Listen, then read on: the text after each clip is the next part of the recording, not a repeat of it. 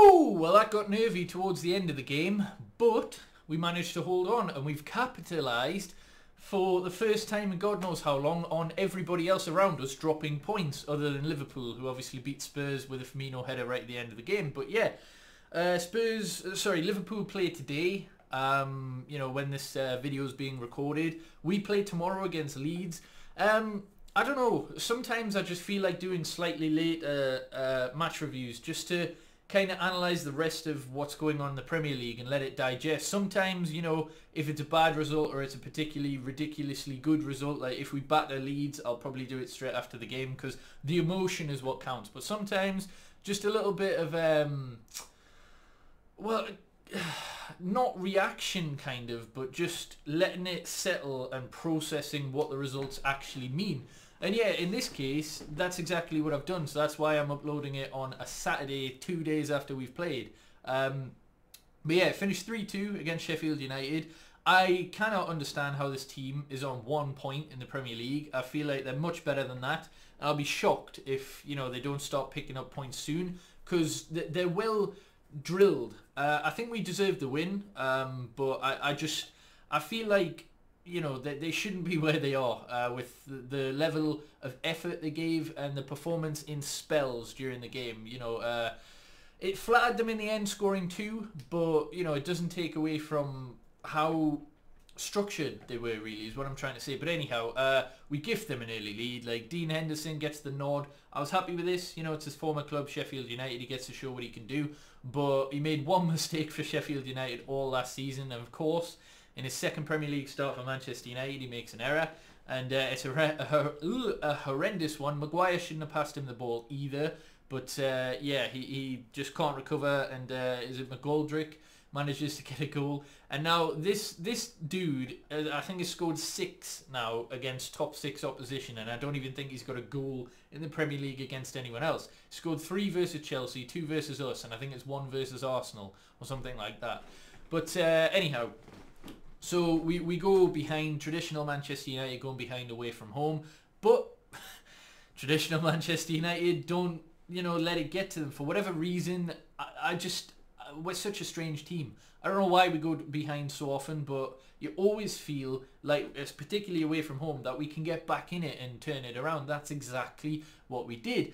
And it was through Marcus Rashford this time. Um, I'm trying to remember the first goal, actually, that he scored. What what was it? Um, oh yeah, it was that uh, ridiculous. Uh, well, I say ridiculous. It's just a ball through from Lindelof. Uh, you know, it's a forward pass, and that's one thing that Lindelof doesn't get enough praise for.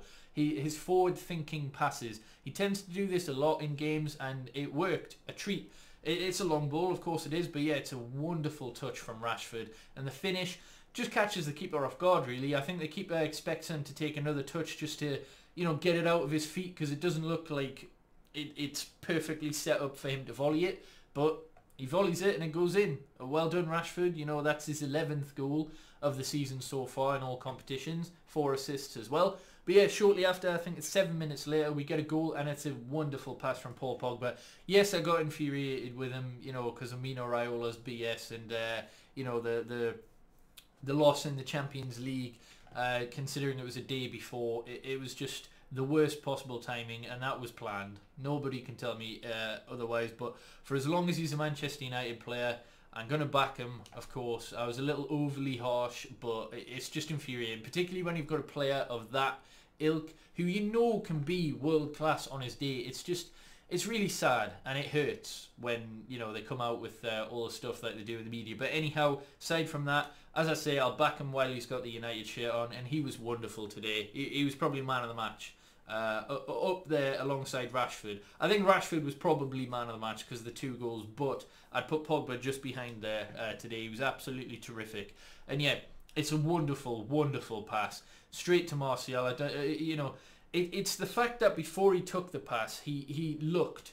Before Pogba received the ball, he looked, he could see where Martial was and was hoping he was going to run, which he did, because I, I think Martial kind of gestured towards Pogba to try and, you know, put it over, and Pogba does, and uh, Martial takes a touch, gets around the keeper and scores. Brilliant for both Pogba and Martial, you know, the French connection, but Martial really needed a goal uh, just to boost his confidence, you feel. I know he got a penalty, but... Um, yeah, an open open play goal. It'll do the world good for him. Uh, so delighted, deserved his goal today. I thought he was very very good. Um, and then yeah, we pushed on. We probably should have scored another one, uh, maybe another two, uh, but I think it goes into into half time two one. And yeah, early in the second half, there was a couple of early scares. I think Dean Henderson made a wonderful save, um, but we piled on the pressure and we managed to get the third goal. And this this is Ollie Ball. You know, for all his haters, for all his criticism, for all his PE teacher nonsense with no tactics, right, if you're going to criticise him, you've got to give him praise where he's due it. And if you're going to blame him for the Dean Henderson error because, you know, why did he play, didn't play De Gea, etc., he's giving the boy a chance and he deserves a chance. But anyway, if you're going to blame him for that, then you've got to give him credit for his tactics. This was tactical and this was unbelievable. Pogba starts it. Well, I think it might be Lindelof or Maguire who started with the tackle. Comes to Pogba and it's a delicious Berba spin. Absolutely terrific. And then I think the ball's played through to Fernandes. Um, or oh, who else is it? It might be Matic actually, who's fouled. Then the ball finds its way to Fernandes. He plays it through to Martial. Martial plays it through to Rashford, and Rashford with a finish. It's an unbelievable team goal. Certainly goal of the month for us this uh, this month, and it's definitely going to be a contender for Premier League Goal of the Month. Like it's just exactly what you want to see. This is Ollie Ball in full fluidity, just yeah, winning the ball back and just counter attacking at such pace. It was wonderful. And we should have scored a fourth. Uh, Rashford could have had his hat trick. There was a couple of other half chances in there. And this is one of the games where, Bru- well, the only game away from home since he's joined in February, which is mad that Bruno hasn't got a goal or an assist. But he still created three or four chances. I loved Telles in the left back position, always looking for the forward thinking passing. That really helped us um, on the break and just transition really quickly, really. Um, I thought Matic was a little bit sluggish in this game, but a credit to Ollie, he got his team selection bang on. He's rested Maguire, uh, Maguire, he's rested McTominay and Fred, who will undoubtedly play in the Leeds game tomorrow. Um, probably alongside Bruno um, and Pogba with Rashford and Martial up front. Back four probably stay the same. De Gea will go in net.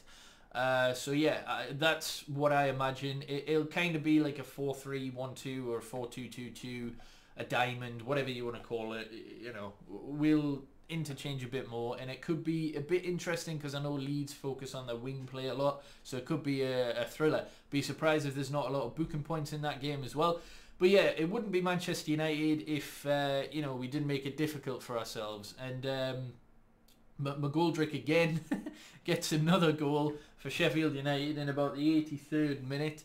Um, I think it's a corner, and Lindelof's really unlucky. He had a really good game today. I'd say behind Pogba and uh, Rashford, he, he was probably the third best player with Bruno just behind him, really.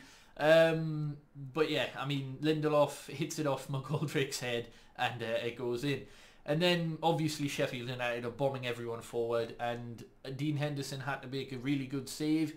Um, but yeah, thankfully they didn't get the third. Uh, the last time we played them at Bramall Lane uh, last season, it was 3-3. So thankfully this time it's 3-2 to us. And now as everyone knows, if we win our game in hand, whenever the fuck that game in hand against Burnley actually gets played, we will move second, two points behind league leaders Liverpool, uh, pending whatever result they get today against Southampton, I think. But yeah, you know, for all the for all the haters, for all the um, stick that Ollie gets, it's phenomenal. And one thing I will give Ollie so much credit for, he said, "Don't judge us until after five games this season," because of the limited preseason where we had barely two weeks and we had one game in preseason, you know, we couldn't get up to full fitness. We had players coming back from international duty, having their late holidays, cut, etc. And yeah, he said judge us after five games. And after that fifth game, which I believe was against Spurs, 6-1, we're now top of the form table. If you take away those five games, we're top of the table. And that's exactly what Ollie meant. Judges after the five game period. We're, on the best form of anyone in the league at the minute. We've won 10 consecutive away Premier League games, only the third team to do so after Manchester City and Chelsea. Um, so yeah, it's looking good. It, it really is looking good. Hopefully we can keep this going because we've now got the, the momentum and the fully fit squad really. And that's exactly what Ollie was saying. Just let, let us build our fitness back up. And we had some poor results. Of course we did against Palace, against Arsenal, against um, Spurs in particular. but we still managed to pick up a couple of points in there. Um, thankfully, you know, against Southampton and that kind of thing. No, it wasn't Southampton, was it? I can't, I can't remember for the life of me. There was a couple of games in there, but anyway, after those five games, we've started, and that's exactly what Ollie was saying. Give give him time and give him a chance to get the squad fully fit. So he's been proved right with that one. Long may it continue, and I'm looking forward to a Leeds game, which I haven't checked the stats, but I think the last time we played them in the Premier League was around about 2004. I know we played them in a cup uh, a few years later where they beat us. Um, and then two years ago we had that friendly where we beat them 4-0. But yeah, I'm really looking forward to that because I'm only 24 at the minute, 25 next month. But I haven't seen us play Leeds in a league game uh, live at all. I've seen highlights, that sort of thing. But uh, yeah, it would have been when I was, what, seven or eight and I wasn't watching every single game back then. So yeah, anyhow, looking forward to it. Hopefully we can get another win on the board and just keep climbing up the table. That's all we can uh, hope for. And hopefully mount a title charge. There's no reason why we can't. Every team in the league is looking susceptible to dropping points this season, shall we say. So there's, there's no reason. We've got the quality in the squad. Let's keep it up.